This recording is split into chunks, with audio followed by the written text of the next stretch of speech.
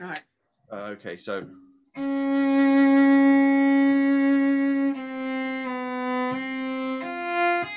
so you need that needs to be really close.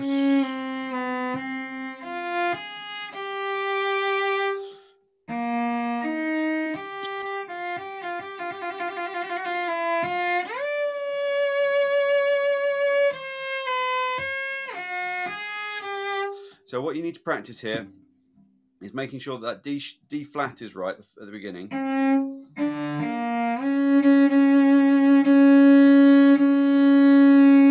Then it's all semitones. Then an extension back. But the third finger stays where it was. As does the second. Then you go back to fourth position.